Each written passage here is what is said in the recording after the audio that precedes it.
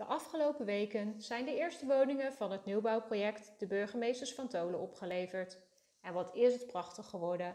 Wil je hier ook komen wonen? We informeren je graag over de tweede fase van het project.